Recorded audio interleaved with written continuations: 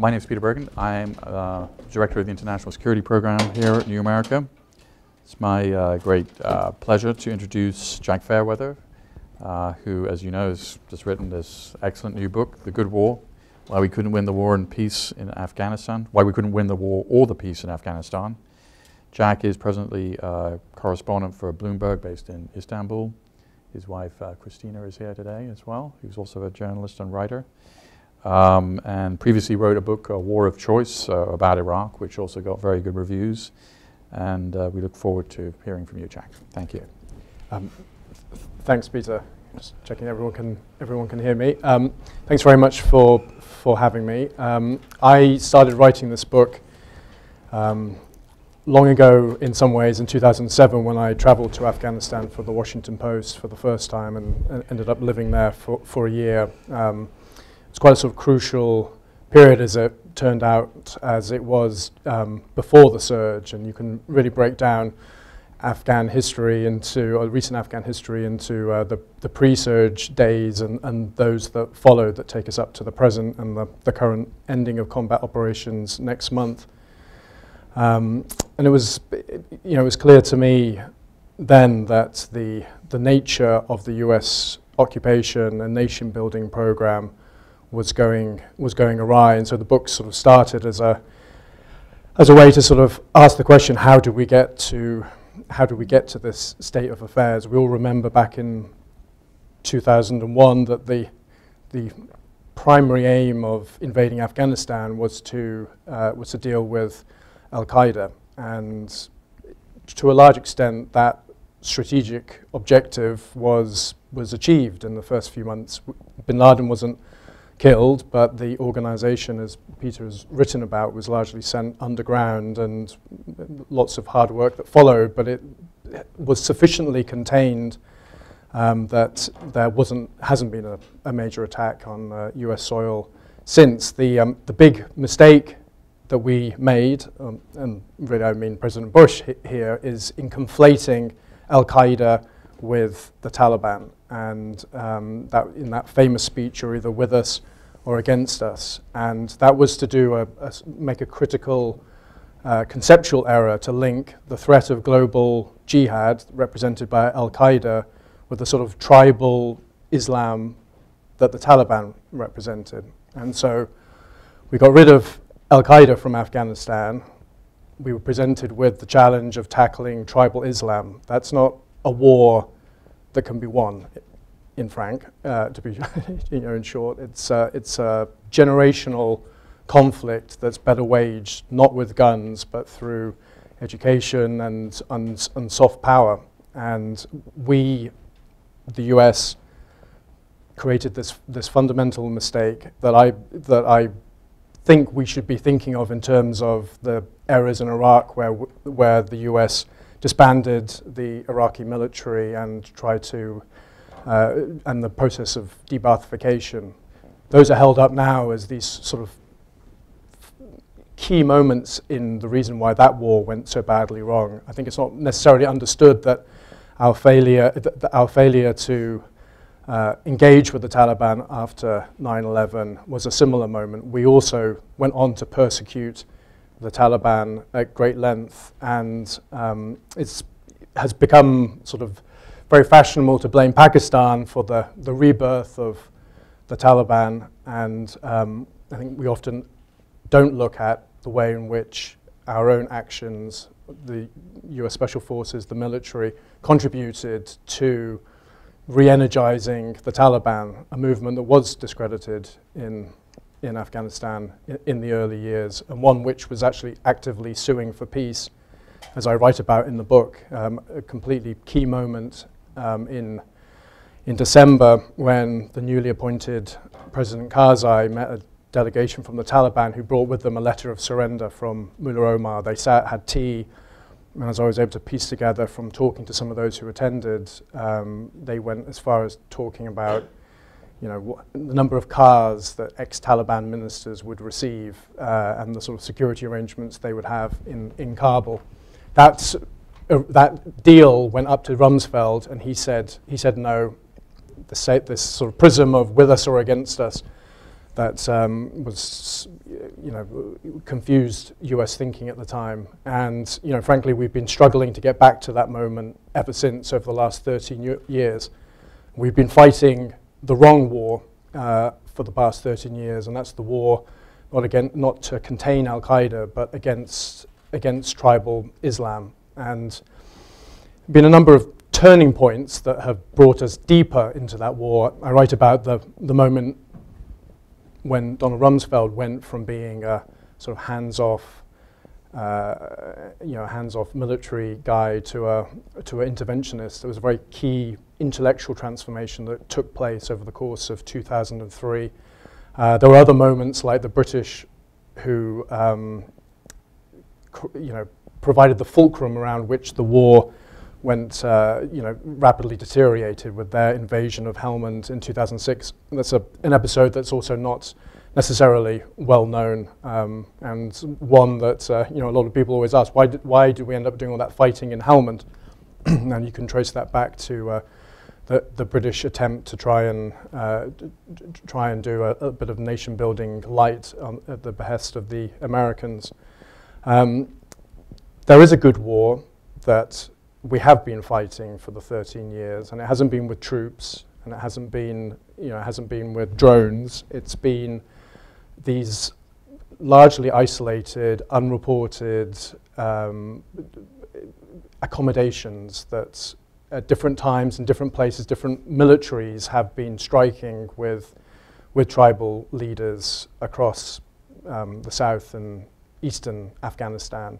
These are small local deals that have bought peace and have shown a promise for the future. I'm not, you know, I'm the last 13 years have been a, have been you know many missteps and we've gone in the wrong direction. But there is there is this sort of pattern. There is a th there are glints of light at the end of the tunnel. It's a very long tunnel, uh, and the, the light is very distant. But um, the th these deals that, um, that I write about in the book offer real promise when aligned with some of the really great work that Afghans themselves have been doing at building up civil society.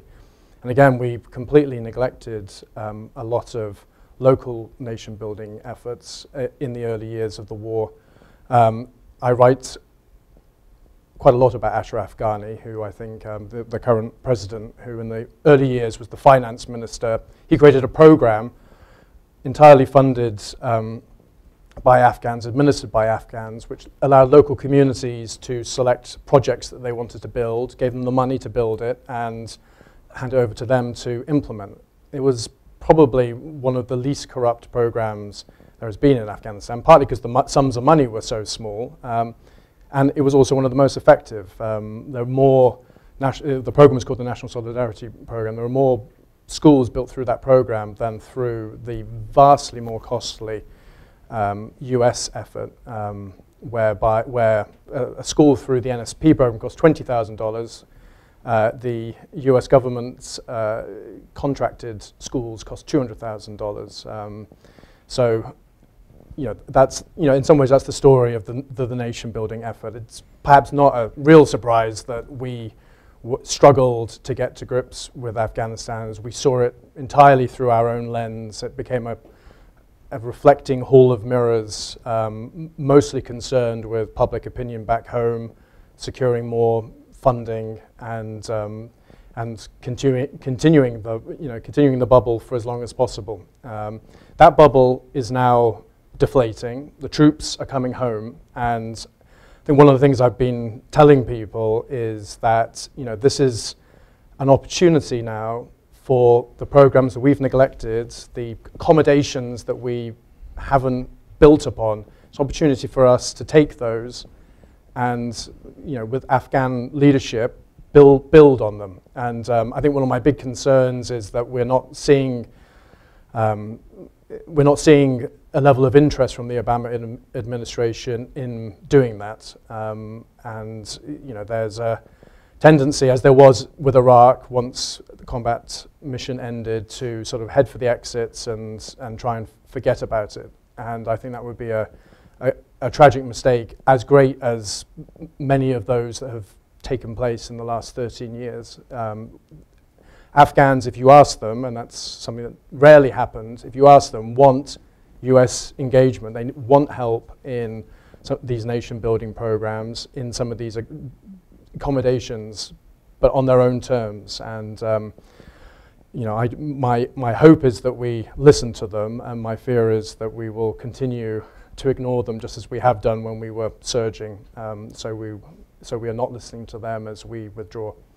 So, uh, so with that, that, sort of bittersweet uh, ending, I will uh, hand it over to, uh, to any questions, as I'm sure there are some here who have got intimate knowledge of Afghanistan. I'd love to um, hear your questions. And, and also well, Jack, so one of the things that I always find puzzling, and you spent a lot of time in Iraq, and Christina did as well, um, is Americans, I think, tend to bracket Iraq and Afghanistan in the same, like, very bad place. And yet, um, there are big differences between the two countries. I mean, today, you're 12, more, 12, 12 times more likely to be killed in Iraq as a civilian in the war going on now, the renewed civil war, as you are to be killed in Afghanistan. So why, why is there this disconnect? And we're all in the, you and I, in the journalism business, and you know, have journalism, have journalists sort of failed to adequately explain the differences, or, or what? I mean, why, why is it, and, and am I wrong about that assumption that Americans tend to bracket them together? I, I mean, I think the fact that it is more peaceful in Afghanistan now is testimony to the surge. I mean, I disagreed with it at the time as an idea, but it has brought hmm. peace, uh, it, uh, and uh, you know, and that's you know, that's not that's a testimony to unbelievable amount of hard work that I saw in reporting the book in um, in Helmand and other places. Um, that piece is just is simply not one that's being built upon. Um, it, it's entirely unreported, but the last two years, the US military has been withdrawing from these small communities where they've you know, fought. Um, and that should have been the opportunity for the, you know, to help the Afghans connect with the local, with the tribal folk. And we haven't. We've handed over as quickly as we could to the Afghan government. And you know, we're seeing now that they're not able to strike those deals, and the mm. Taliban are the Taliban are returning. The whole surge, in effect, has become, as it was in Iraq, a, a face-saving exercise. So I, I, mean, I agree that right now it's it is it is safer, as mm. it were. I mean, you, know. Well, it's always been safer. I mean, it's just it, the Afghan, you know. Well, you were in Iraq, and what right. were the years were you were there? 03 to 06. Yeah. So, like, you know, to go out to a restaurant in Baghdad in 07 would be to sign your own death warrant. As an, uh, you know, that that is not an experience that has ever really happened in Afghanistan. It may be a little bit, there have been random attacks on Westerners right. of late. But it just, you know, Afghanistan is sort of doing okay, relatively speaking, right? right? I mean, that, and right. And, and, and, sorry, I, I, my answer was somewhat skewed towards the, you know, Helmand and these, right. and, and actually these, uh, uh, you know, we're very focused on the, uh, you know, the so it's very focused on these areas where, in actual fact, not much of the population lives, contrary to well, the great COIN uh, doctrine. Right. So this was this was very puzzling. So you know, one percent of the population of Afghanistan lives in Af lives in Helmand, right? right? And yet, you know, there was this vast American presence there and British presence, and we put in this, and it, and it, it would seem to defy the basic tenets of population-centric strategy. So, in the people that you talked to, what was their defense of this, if any? they, I mean, I spoke to a guy called Mick Nicholson, who, mm. you know, was the man who really envisioned where the surge should go. He was a, you know, a, a very fine officer who served in, in the Eastern Campaign in, you know, 06, 07, and, and actually uh, um, sort of introduced before Petraeus did the idea of counterinsurgency, very much based on his you know, on the on the right idea that mechanized military operations mm. don't work in Afghanistan, and there needs to be a more sensitive approach. Um, he wanted to center the surge in Kandahar. Mm. Um, this is something that you know, this is an aspect of the story that hasn't really been um, told before. This this debate in 2008 um, about where the surge sh should go, um, and the Brits persuaded him that it should be in Helmand. Mm. Because they were there. Because they were there, the, and um, and in desperate desperate trouble. Mm. Um, And is this a bit like trying to defeat Nazi Germany by attacking Austria? I mean, is that what it turned out to be, or what? I mean, what, how effective was this? And is there is there any reasonable defense of putting all this effort into Helmand rather than Kandahar, which is the center of Taliban, the center of our gravity, right? I, I, I, don't, I think fundamentally no, because I think you know the question you always have to ask yourself in Afghanistan and is you know you know what is the trajectory that the country is on minus our presence there, or Mm. rather you know what is the sustainable sort of enduring vision for what the Afghan government can do in the country, and we never asked that question. We always confused our ambitions for the country with, with, with the reality. And I think if you look at and speak to Afghans and say, you know, what's it going to be like in Helmand in, in 10 years? They don't have, they're not talking about sort of, you know, district councils that have got line ministry members from, from the central government. They're, you know, they're talking about a, you know, very stripped down administration, maybe one or two officials. and that's um, because it's one of the poorest places in the world, right? I mean, it has no resources other than opium. Th- Yes, although uh, so that's, Well, that's a a, big a big, a big, a big resource, and that's actually a very, a very interesting um, subject. Hopefully, we'll uh, we'll co- come on to. But I mean, the Afghan model for you know for several hundred years has been a very hands-off, decentralized approach. We tried to take the opposite approach, and you can by imposing an incredibly centralized system, actually more cent- uh, uh, the, the envisioning of the centralized system we were creating was far more so than we actually have in the states. I mean, it's Well, we like if we like if President Obama could appoint every governor and also every you know every county commissioner almost, Right. right? I mean, Right. I mean, there's sort of like it's the most we and why did that happen? I mean, was that just because people weren't thinking when they they went to Bonn and they didn't have a lot of time? They just sort of they didn't think it through. No, I think it was a, it was a function of the militarization of the war. I mean, the U.S. opted for something called uh, provincial reconstruction teams um, as a way, as a sort of softly, softly approach to getting, uh, you know, to get getting into nation building. The U.S. military is very centralized, right? You Mm. can you you can you But- can pick up a phone and sp- and issue an order. the, you know, I mean, in terms of the history, I mean, the, the wasn't the constitutional the way the constitution was set up was set up at Bonn in a relatively short period. There, weren't, there wasn't a U.S. military involvement in that, was there? That, that's true, um, but I think the Bonn agreement was loose enough I see. that I mean it was there to be it was there to be interpreted, um, and you know Karzai did a huge amount of what I think was actually quite good work, which we didn't appreciate or really understand Mm. in terms of appointing figures across the south that were going to buttress his rule. Well, mention of Karzai, you know, in 2002 he was the world's greatest statesman, and by 2011 he was the world's worst human being, Right. at least as Washington was concerned. So neither of those things can be simultaneously true. So what is, I mean, he's obviously a complicated guy and he had a very complicated job. And what, to what extent in the book, I mean, did he change over time or was he always this kind of, make, I mean, what are you, what's your assessment? Um, well, I actually try and one of the aims of the book was to try and bring a bit more sort of balance to how we see Karzai. Yeah. Um, we never got Karzai when Did anybody, I mean, did McChrystal get him more right than others? Um, th- he seemed to have a better relationship he, with certain people. he did, but uh, but again, he didn't actually really listen to what Karzai was telling Mm. him, which was that he wasn't that into the surge. Oh, yeah. So um, that's a is a- pretty key issue. There is a yes, there is a famous McChrystal story where he uh, called up Karzai to ask him permission for a certain military operation, which no previous general had ever done. That's true. Although, as I write in the book, um, when he had that, uh, when he went to ask Karzai permission, actually turned out that the the general down south had already launched the operation because Karzai w- had a cold and was in bed and couldn't Oh. be reached in time. I mean, actually, McChr- it wasn't Mc- it wasn't like McChrystal. Well, anyway, it, Yeah. the operation was already already underway. Thankfully, Karzai said yes, but then. You know that's the position we've put Karzai in. Whether we ask him to or not, we, we do what we w- want to do. Um, you know, I think we, you know, early on we we did not we undermined him. I mean, if he had he, he wanted to sign a peace deal or uh, accept the surrender of the Taliban. He had a very different vision of the Taliban than we did. I mean, he consistently said the Taliban back then, the Taliban are our brothers. They're, you know, they're from the villages. They're, you know, they're uh, commanders who fought against the Soviets and became, you know, who were once on our side. These guys are, you know, we we can work with them.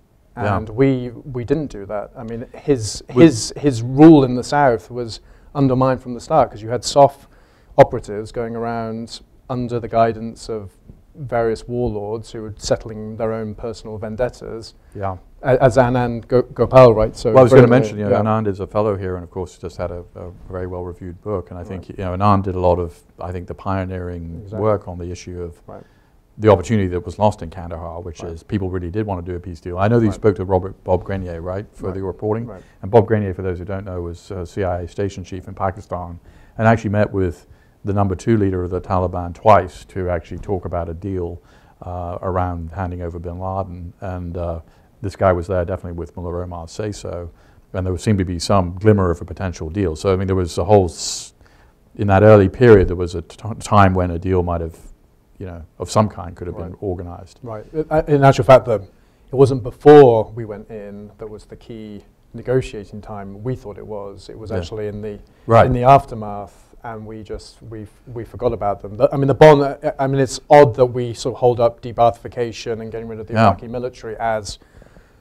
You know, even you know, as even the sort of general public have a sort of vague idea Yeah. about those key strategic mistakes. I, that that's a very good point. I mean, I think that to the extent that when you're going out talking about the book, to, to explain that because I think most people don't know that piece of, history. Right, and the, the, the Bonn agreement was as, uh, you know, as a document riven through with the same ideological mistakes as. Uh, and there were no that. representatives of the Taliban there, Right. obviously. Right, Um, which raises an interesting question about the whole, because I've always thought, I mean, as, as the conflict went on, I thought a peace deal with the Taliban was sort of a pipe dream for a lot of reasons. Um, maybe not at that window you were talking Right. about because it seemed very pr- promising, but as time went on, you know, we, the Pakistani government has done multiple agreements with the Taliban, they've all failed, um, uh, which is, you know, and they don't see a distinction of, the, the, they, for them the border doesn't exist. So when we talk about the Taliban, it's on both sides of the border. So just, I mean, what was, I mean, does President Ghani have a chance now with the Taliban, for instance, or, or what's your view on? I, I think the the idea of concluding a deal with the Taliban leadership remains a pipe dream. Hmm. Um, Because, that it's just not in their hmm, interest. I mean, I mean, why? I mean, from their perspective, they've just defeated another superpower and or are about to, and they can. But do you think they really believe that, or I mean, is that certainly that's what they would say, uh, you know, in their own propaganda, but they haven't, they haven't really taken. Can you? I mean, they have not taken a major even town for any length of time, right? I, I think It's, it's, not all- ISIS, which is taking over 400 It- no, miles from no, Aleppo and, to and I think, Fallujah. and I think that speaks to your earlier point Yeah. about how Afghanistan and Iraq are different. And, and I should, you know, the Taliban is not a monolithic entity. Um, Yeah. You know, there's there's the leadership that has been doing some some parts of which have been doing some talks. Some of them, uh, you know, they have operational commanders Hmm. in the south, but there's still a divide between them and a lot of these tri- you know, tribal groups and some you know, drug cartel type groups. Um, and it's, it's a, always been a very murky picture. And Mm. it's always been the case that the Taliban is, you know, as much seeking their support as, you know, Right. as, as they are, uh, you know, Well, I thought a very interesting point is your point about these local ceasefires, which have, you know that obviously tamped down the civil war in Iraq, and you're saying that also helped uh, sort of keep Afghanistan pretty stable. So, do you see those? Uh, uh, you know, obviously the United States and NATO are pulling back, but the Afghan National Army hasn't been the disaster many people prognosticized, right? I mean, it's sort of it's sort of doing. My impression is it seems to be doing okay-ish. And I spoke to um, the deputy commander of NATO forces about six months ago, a year ago maybe, and he, um, you know, his view of where Afghanistan is going to be is a is a slightly dim one. I mean, he Yeah. sees most of Helmand being, in in some shape or form, back in the com- control of the of the Taliban, and that's you know Right. that's the Taliban with small t, Yeah. as it were. But does that really matter? It- but that's yeah. I mean, that kind of goes to your point about, I mean, what the whole Helmand expeditionary force seemed to be, the whole premise didn't make any sense. right, Uh, s- right. And, um, but, I mean, there. I mean, that, so uh, there is a like a, a fundamental issue, which is how to. th- th- th- is our attitude towards opium, Mm. and uh, you know, I'm. It's which is at record levels now. which is at record levels now. I've you know I took part in anti. Uh, poppy eradication drives. So did I. God, that was a disaster in Helmand. Yeah. Nora's gone. Yeah, they were not happy, the locals. Yeah, the the most bizarre. I mean, I've Yeah. it's their, it, it is their cash crop. And in 2002, we had an opportunity, you know, because the year before the Taliban had had a, had a, a freeze, we had an opportunity to really help the Afghan government take control of the opium crop and, Mm. and, and legalize it. Mm. Um, and you know, that's not some left field crazy view. We've done it in India and we've done it in Turkey with Yeah. extraordinary success Yeah. um, re- relative to what I, I think that was an ideological position of the Bush administration, not to, not to, when you say legalize it, allow it to be used in the, le- in the Right. morphine, in the legalized Right, morphine ex- exact- market. Yes, exactly. Yeah, and, Um, and, and which, yeah, I, I, it was puzzling why that didn't happen. Well, I think in, on the US, it just didn't really cross their radar. The Brits actually so, uh, were pushing Mm. eradicate, uh, pushing a sort of anti-opium uh, line, and there's also the case that some of the major morphine producers, like Canada, like Australia, Mm. didn't want. It's a cartel. Yeah, it's, Right. car- it's, a, it's their own cartel, the Right. mor- legal morphine business, and they didn't want. I mean, if they had sort of taken the initiative, maybe they could have, uh, you know, incorporated them, but they didn't. In fact, uh, the opposite. They wanted Are, to. are there uh, any sort of people in the book uh, on the U.S. or NATO side that come out of this well? I yeah. I, I, I mean, I. uh, There are a number of wonderful diplomats, soldiers, Afghan officials whose story. I mean, partly because it's so set against the trajectory of the war, which wasn't up; it was consistently down. Um, their work really stands out, and so. I mean, that's why in my remarks I say I'm still sort of somewhat hopeful that we that as the military nation building effort drains away that we're going to turn back to to these guys who were doing doing work. There was a great um, UN diplomat, very young young guy straight out of grad school who was placed um, in the in the in the middle of one of the most complicated tribal entanglements involving Haqqani, whose network we've been variously uh, fighting against um, from the start, and he quick uh, he quickly reached out to of no particular, it didn't get any permission to do so, um, and you know within a few months he had built a sort of a settlement between the between the tribes. They were doing small reconstruction work along the, the lines of this program I mentioned by Ghani.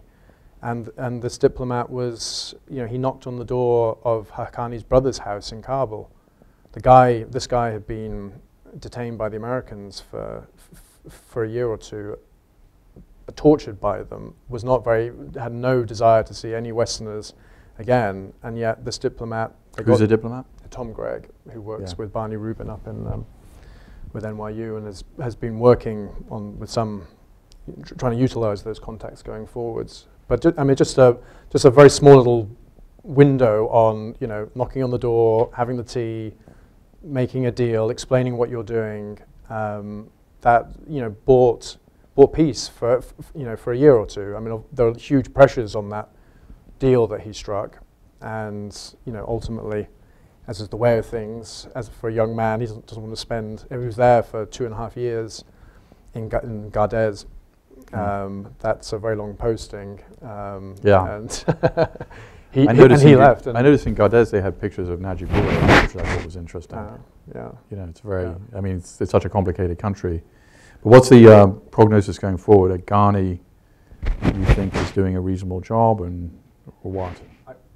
I mean, I think the you know the end state, what we're going to see emerge is already emerging is, you know, Afghan government will retain control of all the major major cities, Mm. and you know, in the, the tribal hinterlands, there will be you know a mixture of different warring groups. Um, Do you think President Hillary Clinton or President Jeb Bush are going to um, be okay with withdrawing all these troops at the end of 2016? I suspect they will. They probably. They probably will because I think um, you know contain. I mean, you know, the focus has shifted to Iraq. To Iraq, and But do the thought experiment where there's a, some kind of terrorist attack on the United States that can be traceable to the AfPak Right. region Well, in that- yeah. 2018. The political costs. I mean, I think it, it, I don't think any any president in his or her right mind is going to. There's no. There's nothing. We haven't a strategic partnership agreement with Afghanistan until 2024. So, I think you know it's if you can change. It's not. There's nothing's written in stone here. right. Um, and I think, you know, as you indicated in your remarks, I think Afghans regard the United. They, they don't want a big U.S. military presence, but they do want some kind of security guarantees. Right. Right. Right. I, I mean, I, I would be surprised if Clinton or Bush were to, you know, send another 100,000 troops, Right. um, you know, back in again. I think there will be an enduring commitment. My, my concern is that it's not going to be allied with, you know, a sort of a sort of message of hope for the Afghan people that we're going to we're going to work with them to try and fix politically some of these some of these problems. I think you know containment as a strategy does work, and I think, but Mm. it, it it doesn't help you fix the problem. It just helps you. Well, meaning what? What? When you say fix the problem, mean meaning what? What would, what would be required? Afghanistan's in the middle, as, as in a 30-year civil war. Yeah. There is a fundamental process of reconciliation that needs to take place. Mm. Um, and we, we've never given it serious credence. I mean, we sort of slightly farmed it out to Karzai to manage. He never, he was in, in a particular sort of, and you know, in a do nothing phase of, Yeah. of his career. And um, But it, it, well, you know, one. But when you say, you know, if you look at the coalitions around Ghani and Abdullah, they're actually much, you know, cross-ethnic lines, and that's a form of reconciliation, right? I mean, at the end of the day, the Afghans are going to have to do them for themselves, and right. um, Right. I mean, I, I mean, I'm- back to your question about Ghani. I mean, I'm very hopeful. I mean, he's the only man who would is capable of taking Afghanistan from a 16 billion dollar aid budget a year to three or four, maybe that it's that it's going to be. A, you know, this giant sort of drop off in in funding, because precisely because he's had this.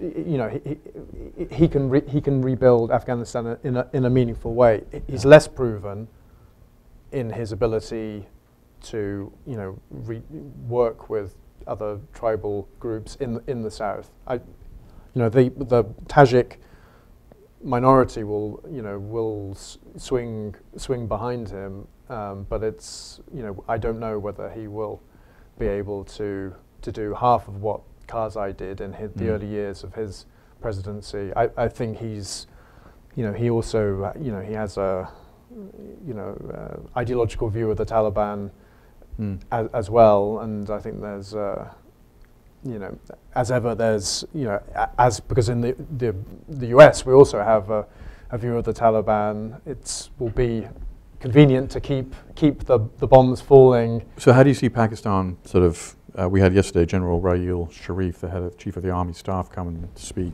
uh, at a sort of off-the-record event. But Mm. um, what's your assessment of like how Pakistan will play with the new Afghan government?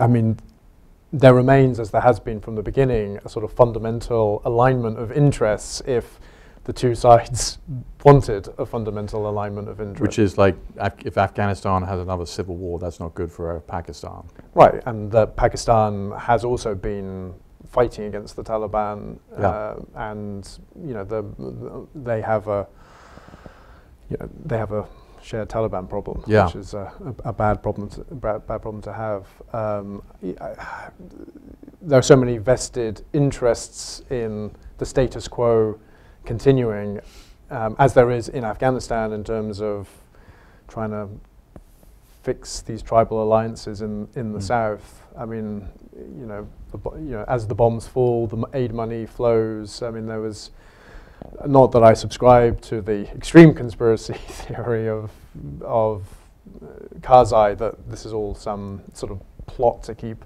war going on forever. But I think um, you, you know I think the U.S. has a real role in sort of energizing peace processes, Mhm. um, and you know Kerry has shown himself prepared to tackle some issues. Did um, Kerry get, I mean, it seems to me that Kerry actually did a fairly brilliant job in Afghanistan. He didn't get a lot of public credit for. Right, and uh, yeah, I think he's been. Un- I think the Obama administration is, you know, has created an unfortunate narrative for itself, whereby it's continuously seen as being defensive and withdrawn. Yeah. I think, in actual fact, their diplomacy has has been working. They don't nearly do enough to to, How do you talk about How do you treat uh, Obama's December 1st, 2009 West Point speech, which announced the surge and simultaneously announced the withdrawal date?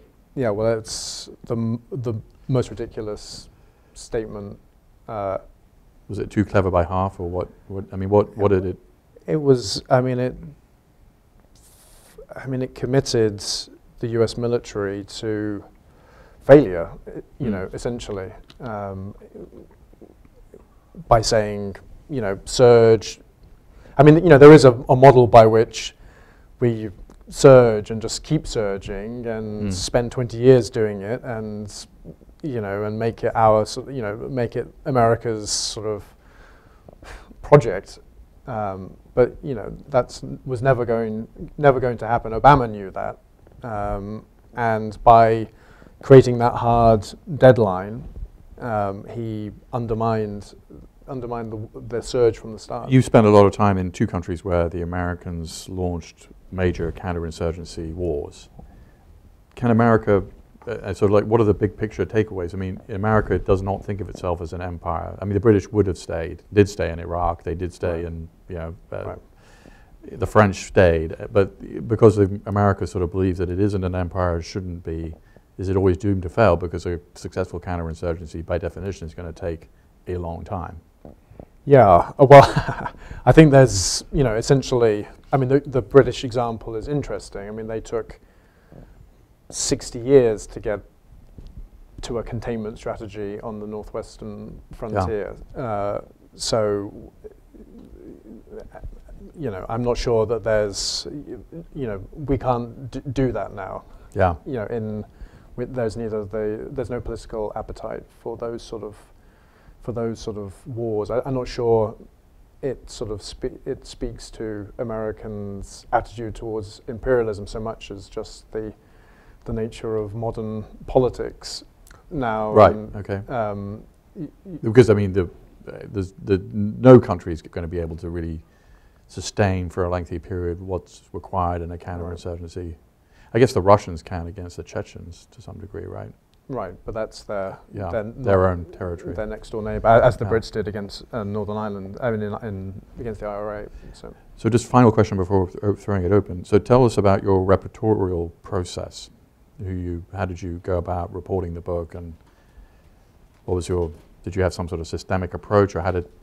Well, my, the approach was to speak to every senior, uh, every commander, U.S. commander Hmm. of, you know, of ground forces, every ambassador of the Brits, of the Americans. And they all were cooperative. Yeah, I spoke to every um, every U.S. commander. They were cooperative to different Level. extents, and some of them weren't uh, were less cooperative when they saw the direction of the book and sought to try and stop it. Uh, Well- being someone who wasn't very pleased with. Uh, But I mean, the book seems. I haven't read the whole thing. I mean, but you know, you seem to have a pretty balanced account. It's not.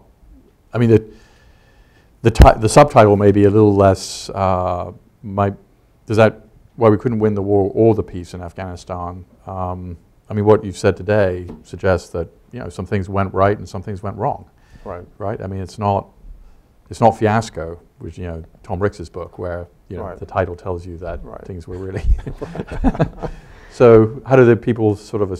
How do people know where you were going?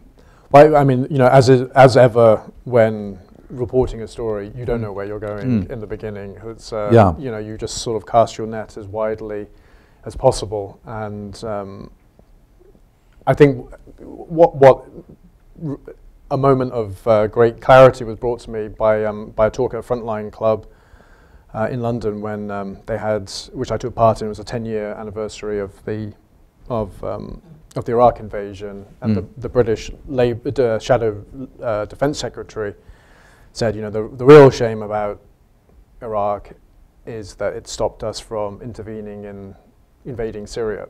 And Mm. um, I hadn't, hadn't particularly thought of uh, political, oh, oh, you know, thoughts through a line of argument. But as soon as I heard that, um, it, uh, I was so enraged by the notion that uh, military intervention in Syria was, you know, was the was the answer. Um, The Mm. very next day, I just sort of wrote uh, wrote, wrote the introduction to the book um, by tracing through, you know, the alternative to military intervention. The you know this surge narrative has been very strong. I mean, it took place in 2009, but this idea that if only we'd had more troops, more soldiers, Mm. more money earlier, everything would have been okay. That was, you know, a very strong message from 2003 onwards as, as Iraq sort of During that surge debate in Afghanistan, there was there was one. It turns out, I think that the smartest. Uh, there was uh, various factions. I think one of them was called "Go Light but Go Long." I think was one of the. right, And that I think that probably would, would have been the smartest, right, right? Which you don't have a big presence, but you do say that you're going to be around for a long time. right. And, uh, and that message is the, is the key one because I mean that's always been one of the Taliban as Yeah. strongest messages is we're sticking around. We don't care whether it's 10 years or 30 years. You know, we, you've got the clocks, but we've got the got the time. Yeah, we sort of But is that a hard message to say to the American public? I mean, you're getting back to this question because I mean, the reason that Obama said this, we're going to withdraw in 18 months was, you know, I think he was trying to satisfy a domestic constituency. A lot of Americans, like if you ask Americans, do you want to intervene in Syria?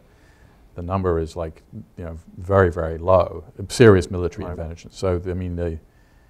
It- But, you, but I mean, Obama campaigned on on right. you know on more troops. There was a support for public opinion support for Yeah. the Afghan war. His mistake was to sort of throw the floor open to to debate and give, allow the military to start talking outrageous number, you know, troop increases that com- fundamentally shifted the war. Suddenly, you went from, you know, a, a war of thirty thousand, fairly light, not really that many, not really that Right. many casualties, to contemplating a war of 120,000, you know, tripling of the war effort. And Yeah. once you once you enter that sort of Iraq level of troops, then of course it's not. I guess the counter argument to that is the Taliban really were getting momentum in 2009, right? I mean, they were sort of, and then they were sort of pushed back from Panjwai and other places. But anyway, let's throw it open to questions. If you have a question, just uh, wait for the mic and identify yourself. And Elizabeth. Thank you. Thank you, Jonathan Rauch of Brookings. Could you elaborate on your statement that there's a 30-year civil war in Afghanistan? Is this something that predated the invasion and continues to this day, or is this something that was set off by U.S. and foreign activity, or what? I'm referring to the, you know, starting with the Soviet invasion, the way in which that sort of in part played on some of the ethnic divides in the country that then became full blown in the, in the 90s and in some ways we inherited in 2001 of, and have been exacerbating since. I mean that Small addition. I mean, really, it started in '78. If you think Right. about it, it wasn't even because there was already this conflict. Right. So, I mean, you were now three and a half decades into it, really. right, right exactly This was a pacified country in the 90s, pacified. No, I was there during the Civil War. It was like Mogadishu on steroids. I mean, it was in. I mean, A- Afghan. The Afghans destroyed Kabul. It was block to block fighting with ethnic and militias. It was really. That's why you know personally I have some some hope for the country because I think that kind of experience is in living memory. No one wants to go back to that, and a lot of the people in the government today are people who lived through that. Right. Uh, they don't. They know the. You know, there's a sort of prisoner's dilemma here, which everybody can lose if they don't play nice together. Right. So you- that's, the way of putting it. But that's, I think, what, that's why we saw the u- national unity government. I mean, look, there's going to be no money without the national unity government. The money spigot just will turn off immediately. Communists lost in '92 because the money stopped. Right. Right, that was the definitive moment. Right, exactly, and and, the, and that experience of Najibullah, I think, should also, you know, is another reason for hope. I mean, whilst even with the money turned off, he managed to cling on, you know, for a length of time that's uh, a surprising length of time. So you can imagine with enough, you know, with a, a bit of support, he might have, you know, kept the uh, kept the Taliban at, at bay for, for longer, and that's sort of the scenario that Ashraf Ghani finds himself in. Thank you. My name is Nancy Carson. I'm former congressional staff. Um, I have sort of a question about agency. I work a lot with women's finance things, and we try to get people to do real partnership and understand what people on the ground want. It's hard, and part of what makes it hard is um, there's so many actors. Some bank wants to help you, and then they take all the resources. There's NGOs elbowing each other for fame and glory there's USAID. I, I hear you almost saying if we could leave them alone for a while, maybe they could kind of improve. But I wonder if you could talk about the diplomats and people you know. We, we, if we are going to fix this, it's not going to be the Defense Department or AID, and if it's not the White House, I don't know who the we are. Are there actors that you see out there that could come into play to try to shift this onto a more rational ground? And maybe that, the NSF, maybe you could have explained a bit more about it because this Yeah. is a big success story. Right. Yeah, I mean, I the folks to fix, to begin a, you know, a sustainable nation building program are the Afghan, is the Afghan government. I mean, that's, should, has to be the, you know, the, the point of interaction. Um, and, you know, there's a fundamental issue about the way in which we go about nation building through USAID and, and the State Department that you know, bypasses the very government we're trying to build up, undermines it, you know, Mm. et cetera. I mean, that's a, you know, a major, I hope, takeaway from, you know, from the book, um, the way in which, you know, we do, we, we're not really nation building. We're, we, I mean, we're very successful at creating vast offices and, you know, a, a bubble in Kabul without, you know, with much less impact on the ground. Ashraf Ghani, um, inherited a program that had been operating during the civil war in the 1990s, which, um, in, which had been done with the, with the Taliban, with a, li- a little bit of UN supervision, but largely done by, by, um, by Afghan civil, you know, civil groups that, as, as I mentioned, were building schools and, and wells, but using the community to identify the projects that they wanted and then giving them the money to implement them. Ghani took this program and expanded it across across the country in in 2002, and um, it you know it was remarkably successful, albeit one that was underfunded and um, and rapidly overwhelmed by the much larger nation building project that the UN and others were engaged in.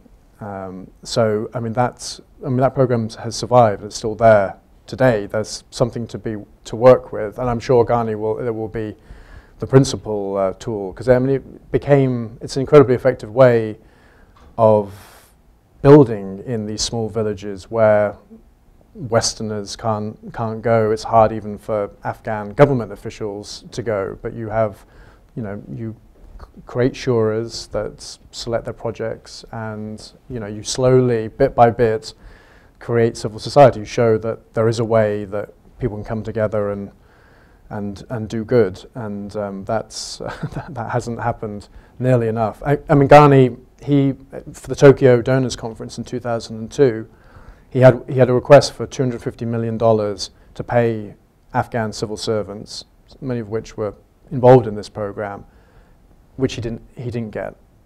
In 2002, he was he was sacking government officials because we, he couldn't meet payroll.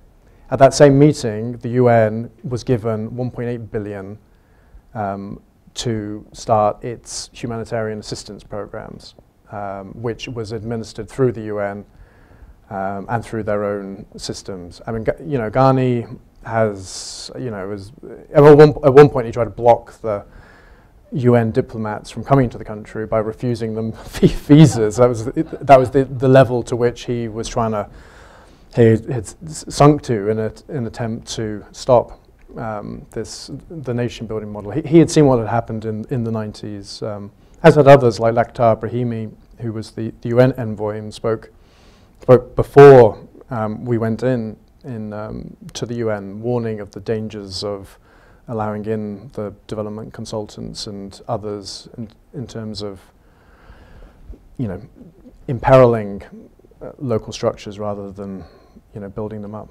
The other thing, striking thing about this aid issue is that, I mean, we talk about the billions of dollars that were given, but really we're just paying ourselves because, you know, depending on, the Oxfam has a number, I think 40% kind of just goes back to the wherever, you know, to right. the, to, yeah, and the United States is particularly, I think some countries like Sweden are very cognizant of this, and uh, I mean, but you know, you know, when it's American aid, it might turn out to be 80% of the total is really just paying ourselves. So it's this right. aid is not.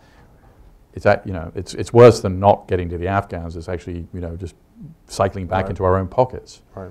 Um, and so, is, I, yeah, I mean, the amount of money that we have spent on the place, it, it should be, yeah.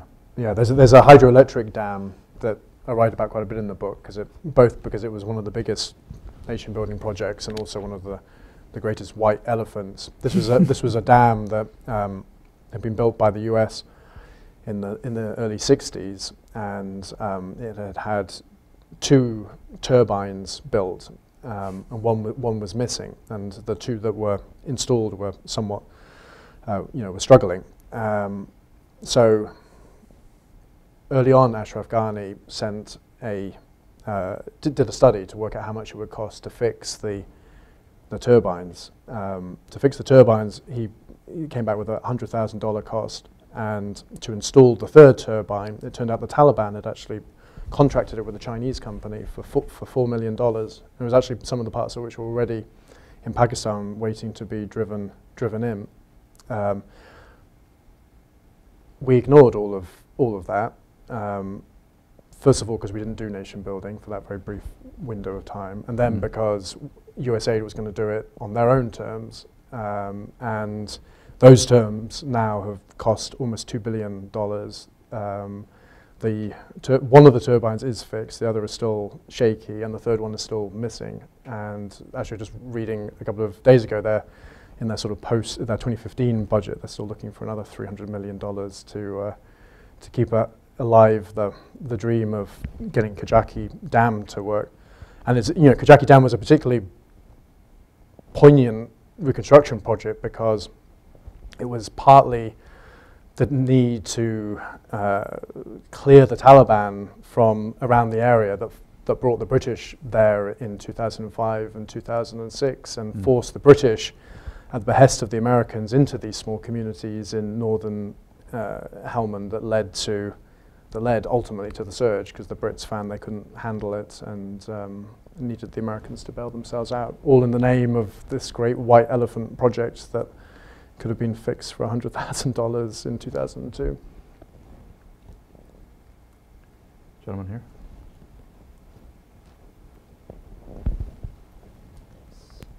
Uh, Gregory Andrews with the Heritage Foundation. Um, you seemed quite a bit more optimistic about Afghanistan rather than Iraq. And um, I guess my question is, what, what is the current state of the Afghani army, and uh, how will that play a future in um, stabilizing Afghanistan? In a recent press conference, uh, General Austin seemed pretty optimistic about the Iraqi army, and that if the Iraqi government could be more inclusive of Sunnis, the uh, the army, at least in Iraq, already has a structure to it, and uh, could be worked with to provide a more stable Iraq. But I guess on the flip side, what, what's the situation like in Afghanistan? Uh, well, I think that's a, a lesson why you should take gen the generals with a pinch of salt, because I'm not sure the Iraqi military is one that should inspire 100% confidence at this moment, having just surrendered half the country. Well, it seems to have only one gear, which is reverse. right. yes, well, at least it's, you know what they're going to do. that's, that's, that's, something.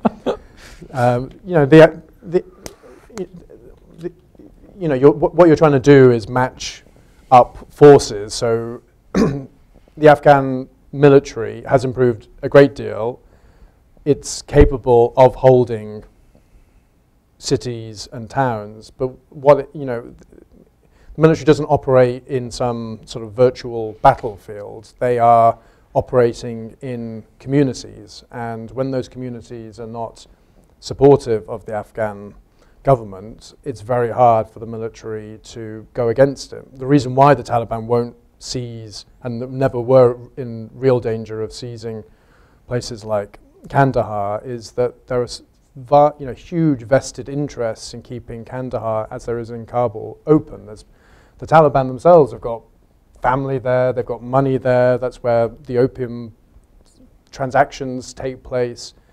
Um, you know, when you put the Afghan military in that context, it can work. It can work well. They, they know the context. They know these power plays, and it's, you know, the Afghan, the Taliban aren't going to sort of come charging over the horizon and, and seizing the city. I think there are real questions about how they can, how effective they can be out in the, out in the provinces, and um, and you know we're seeing that in the fact that places like Sangin and Musa Qala, these small towns, um, have already sort of largely largely fallen. Um, so you know I wouldn't, uh, you know, I, you can't have 100% faith in the Afghan military, just like you can't in the Iraqi. I think you can have 100% faith in uh, when you when you align that military with local interests, that it will stand the test of of you know the Taliban or any force trying to change the status quo.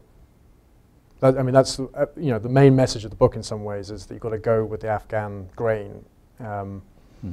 You can seek to change it over time, but it's a you know it's a generational conflict uh, and one that will, you know, it's going to take 30 years or more to, um, you know, to, to resolve. What does that resolution look like? Oh, in the, in the distant future, um,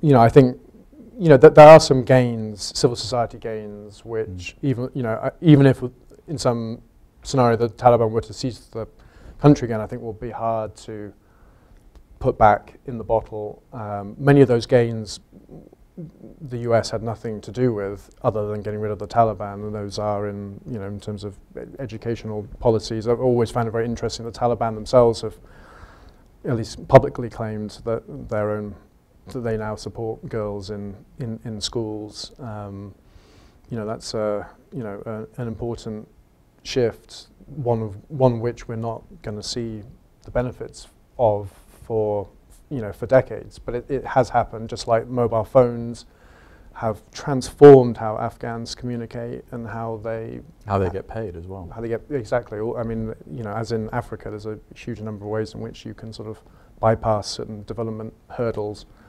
Um, you know, that's another conceptual shift that's going to be hard. You know, you can't change that back again.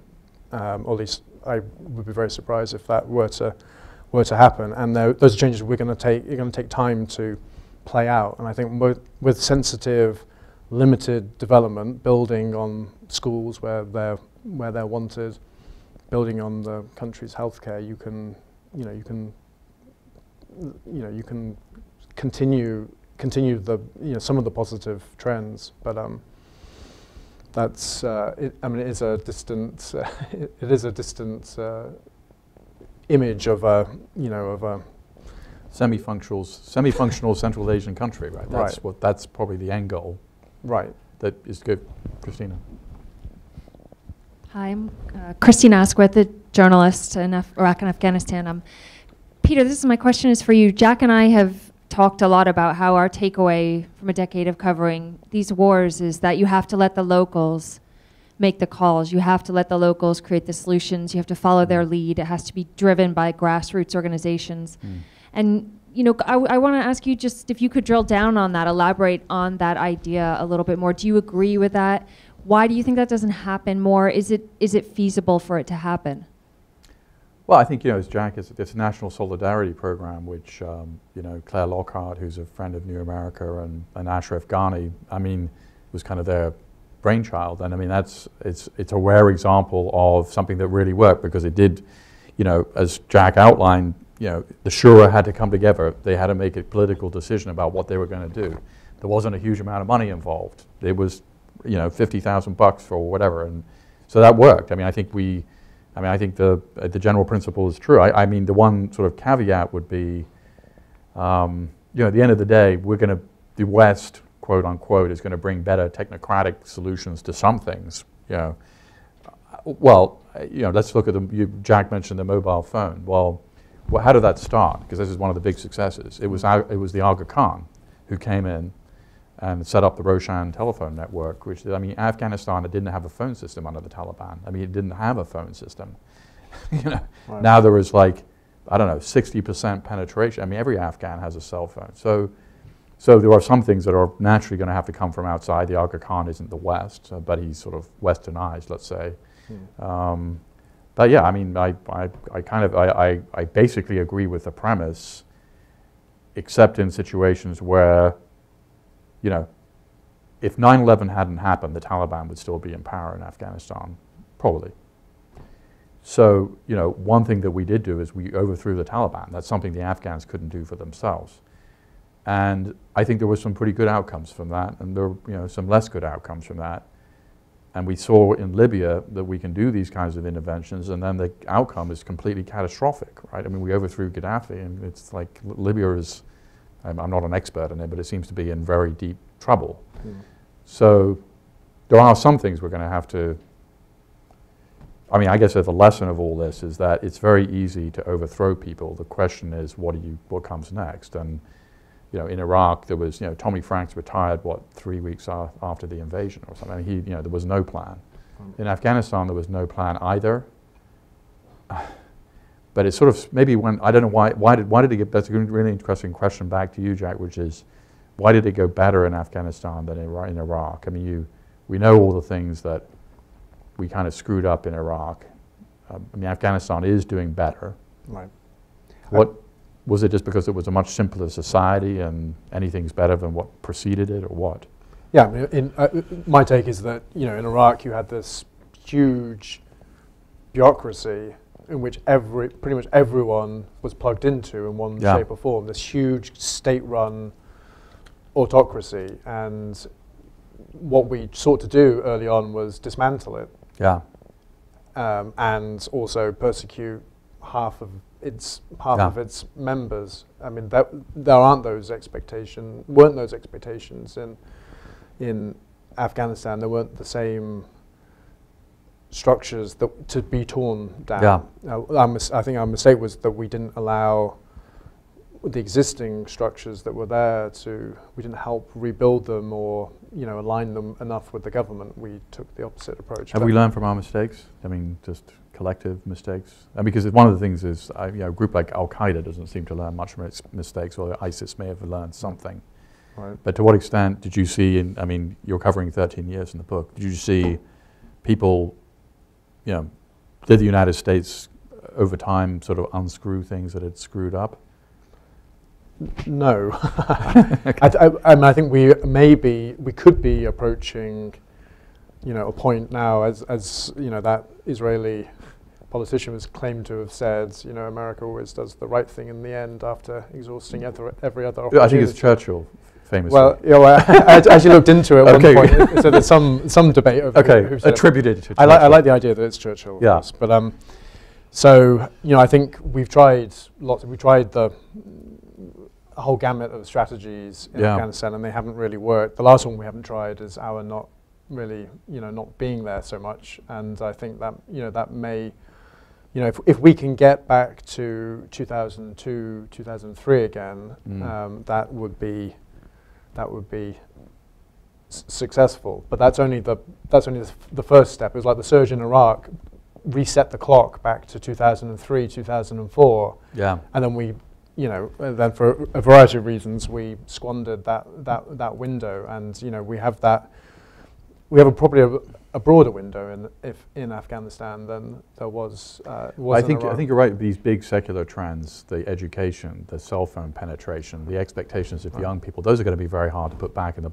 And so, even though we made all these mistakes, we kind of did a, sort of set the stage for this thing to sort of some of these good things to happen to some degree, right? Right. Do you, let, let me ask you, Peter. I mean, do you see can Pakistan have a positive role? I, I would say uh, it's in Pakistan's interest completely to have a positive role. and you know, Ghani went to Pakistan very Right. quickly, and uh, General Sharif was just in Afghanistan. So, you know, there was Karzai was constantly. Uh, uh, he was saying a lot of very negative things about the Pakistanis. As you know, it's very strongly held belief in Afghanistan that everything that goes wrong can be is attributed to Pakistan. Um, so I think you know, and you know, Kiani and General Sharif both firmly believe that the biggest problem they face is the Taliban. It's Hmm. not India, right? And that's true. It took a long while to like wake up to that. So, as you said, I think that they, that it's in their interest to you know to kind of make sure that this you know the civil war doesn't start again. The Taliban, you know, isn't marching on Kabul. They have shared interests. You know, the head of the Pakistani Taliban, as you know, lives in Afghanistan now, which is sort of an interesting role reversal. Right. so you know, but that's you know that's a shared interest in like getting a, trying to manage this. Right. Well, thank you, Jack, for a brilliant presentation. Thank you, Peter. And I'm